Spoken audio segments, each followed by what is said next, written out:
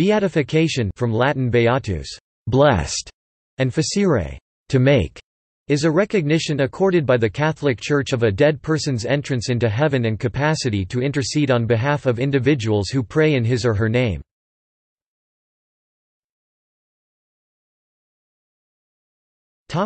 History Local bishops had the power of beatifying until 1634, when Pope Urban VIII, in the Apostolic Constitution Coelestis Jerusalem of 6 July, reserved the power of beatifying to the Holy See. Since the reforms of 1983, one miracle must be believed to have taken place through the intercession of the person to be beatified, though the medical investigations of the Church are conducted privately and are therefore subject to speculation about their methods. The requirement of a miracle for beatification is waived in the case of someone who died as a martyr. The feast day for a blessed person is not universal, but is celebrated only in regions where the person receives particular veneration.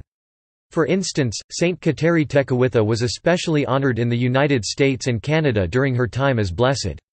The person may also be honored in a particular religious order, diocese, or organization, such as John Duns Scotus among the Franciscans, the Archdiocese of Cologne and other places. Similarly, veneration of Blessed Chiara Badano is particular to the Focolari movement. Her case also demonstrates that, contrary to popular opinion, beatification may take place within a relatively short time after a person's death of an individual for Badano, 20 years.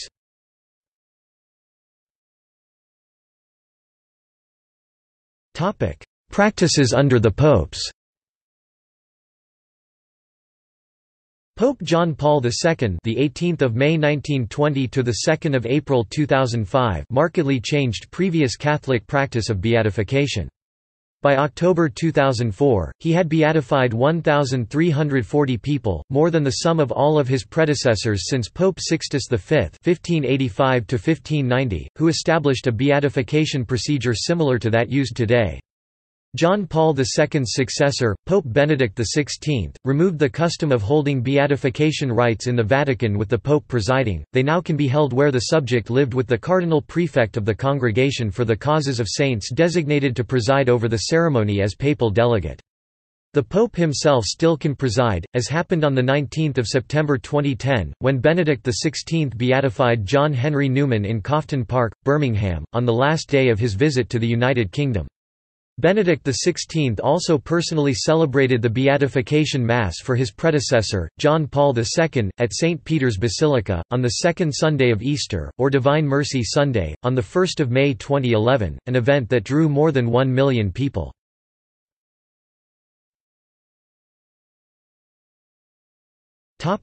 Cultus confirmation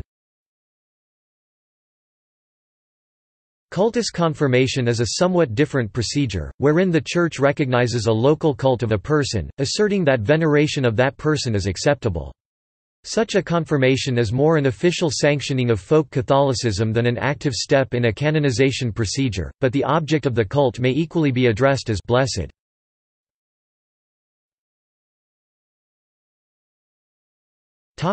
See also Chronological list of saints and blesseds List of beatified people. List of people beatified by Pope John Paul II List of saints. List of servants of God. Lists of venerable people. Notes